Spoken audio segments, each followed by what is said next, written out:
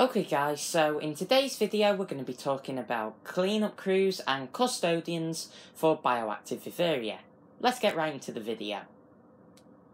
So as a little bit of background information, um, a bioactive enclosure is basically one in which you try to create a sort of slice of a natural habitat by adding in plants and substrate and naturalistic decorations and all that, as well as invertebrates, so that you create a sort of mini ecosystem wherein the sort of feature animal, like the um, reptile or whatever that you're planning to keep, um, is like the apex within that community, and then the smaller invertebrates and that um, feed on its waste and break it down, so that everything stays clean and you have a really nice naturalistic setup that's both enriching for the animal and also just nice to look at. Um, but when most people think about these, they think about doing them, at least initially, they were done for dart frogs because the high humidity makes it easier to keep those invertebrate species, such as woodlice, worms, and springtails, um, because all of these are adapted to high humidity environments. But that does not mean that you cannot um, achieve success with a bioactive system, keeping a reptile from a more arid environment or even a desert. So, as I just said, the invertebrates required for a bioactive system tend to like higher humidity, um, but the reptiles or whatever that you're going to be keeping in the bioactive system in this case are not going to like that whatsoever. For example, bearded dragons or corn snakes, if you keep those too humid, then they can get respiratory infections. So, trying to create a natu naturalistic setup and then keeping it humid just is going to be completely counterproductive. Despite this though, it doesn't mean that bioactive systems are completely impossible for these species, and in today's video um, I'm going to be talking about how you can find ways around this, and what I do to keep my um, desert and arid species in bioactive enclosures. Now, something you can do from the get-go just to make life easier for yourself is to select um, invertebrate species that don't need as high a humidity as the ones that are typically thought of as going in bioactive enclosures. Now, if you've kept any reptiles or amphibians or the like at all, then you'll probably have heard a lot of these things I'm going to talk about um, because they are sort of staple feeders in the hobby, but they do do just a fantastic job um, in bioactive enclosures as well as they do for being food for our pets. Now, such species include worms like mealworms and morio worms, which are the same thing as superworms, um, and they'll turn into beetles. Um, the, all the life cycle stages are perfectly fine. Um, then there's some other smaller species, um, buffalo worms, which sound like they'd be massive, but they're actually tiny. Um, dermestid beetles and their larvae, which are traditionally used in taxidermy actually. So these I am, um, I haven't got any of those at the minute, but I'm planning on getting some for my corn snake setup, and I'll be talking about that in a future video, um, within the Bioactive Basics series. Um, but then you've got different species of cockroach can work. Um, dubias are good. Um, there's some other species. Obviously, if you're going to do the cockroaches, you want to make sure that they're legal where you live. And also, if they escape, that it's not warm enough for them to survive. Um, you can use crickets in small numbers. Now, crickets are a little bit iffy because they can be quite aggressive and they do chirp and that. But I've got them in my bearded dragons enclosure just by mistake, really, because, you know, he's not caught some, they've ended up living in there. And they don't harm him because there's plenty of stuff for them to eat, preferentially to nibbling on my dragon. Um, but honestly, I maybe wouldn't put crickets in every setup. For example, um, if the inhabitant is potentially going to eat them and you know that it's got like a gut infection or something, there's a chance of reinfection there, which is something to think about. And there again, if the inhabitant won't eat the crickets, you've got to be prepared for the population getting really big. So, you know, they're a bit iffy, but they're definitely something worth thinking about. And then there are some species of isopod that you can use as well.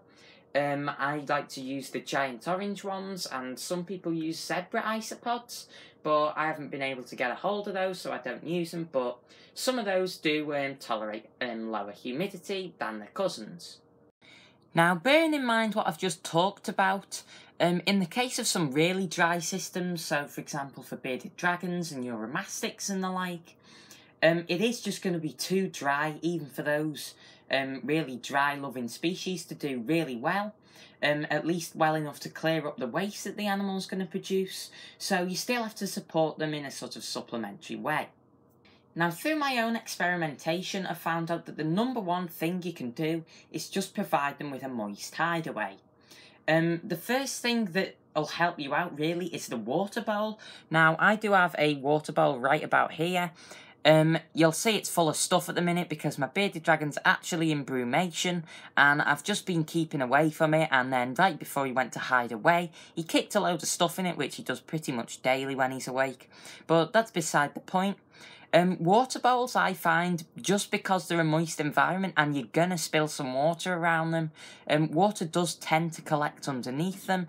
And whatever you do, you're going to find that woodlice and stuff, um, if you put them in the enclosure, it'll start breeding under there. So you can sort of use that as like a canary in a mine type of thing. If you lift up your water bowl and it's moist and you're not seeing anything, you need to give the custodians a bit of a helping hand. But if you lift it up and there's all woodlice running out each time, then you know you're doing something right. So taking a look in my corn snakes enclosure, if I lift up this bowl, you'll probably be able to see some stuff.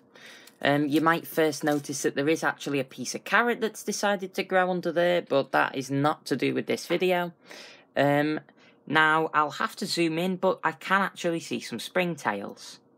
So if I zoom right in, you can see that there are springtails living under this bowl. Um, and springtails are notorious for needing high humidity. So the fact that I've got them living under here just shows you how useful a big water bowl can be.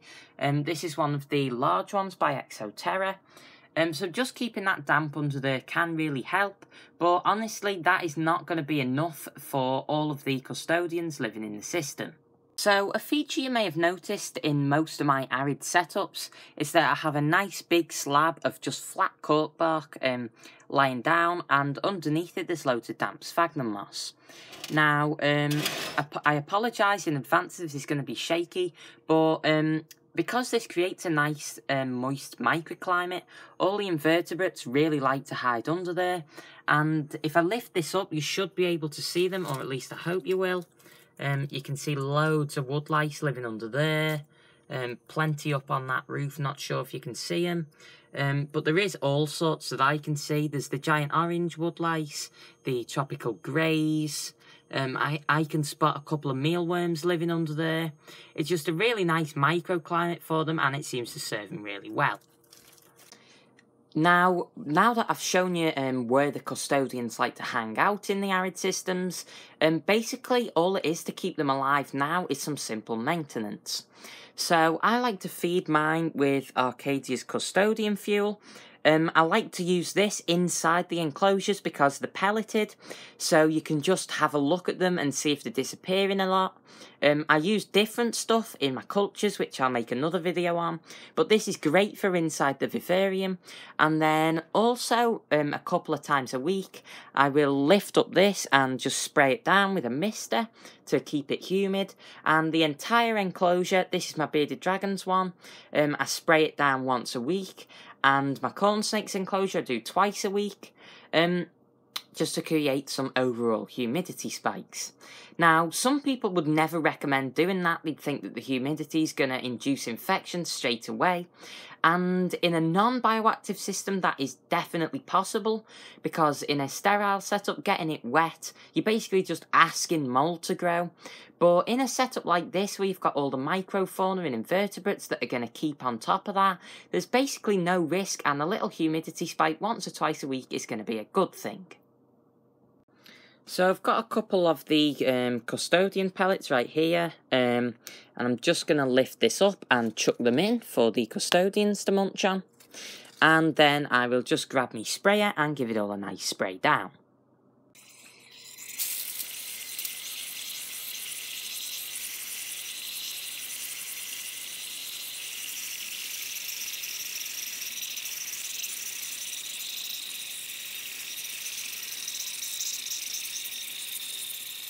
So just to illustrate how important this spraying down occasionally, um, just how important that really is, Um, I can actually see straight away after spraying it. Um, there's a mealworm beetle, a type of darkling beetle, has come out straight away and is lapping up the water. And they're not too far away. Um, there is a morio or superworm beetle, which is another type of darkling beetle, has come out straight away to lap up that water. Um, you never really see them come out at all, apart from when you spray. Um, so it is really, really useful just to get an idea on what's living in the system, and um, everything does benefit. So honestly guys, trying to keep a bioactive system that's arid isn't that much harder than trying to keep one that's tropical or humid, as long as you provide the custodians somewhere to retreat to, um, give them a drink once in a while and give them that little bit of helping hand from the custodian fuel pellets. Um, you shouldn't encounter any problems. I've been keeping my leopard gecko bioactive for over a year now, nearly a year and a half actually. Um, I've had my bearded dragon bioactive for a few months. Um, my corn snake bioactive for quite a while now. And honestly, they are the golden rules. Keep the custodians fed, keep them um, somewhere where they've got a nice bit of humidity to retreat to, and just sit back and enjoy. So with a few parting glances at a cricket, um, that is pretty much this video. Um, I decided to make this as a special video even though I've done a Custodian Bioactive Basics episode in the past because actually um, keeping um, custodians in dry systems is something that I get asked about quite a lot and so I thought that it'd be um, a good idea to make an entire video dedicated to it. Anyway guys, I hope that you did enjoy this video and if you did, it would help me out a lot if you left a like and seriously do consider subscribing if you want to see more content like this in the near future. But for now, this is it and I'll see you in the next one. Bye guys.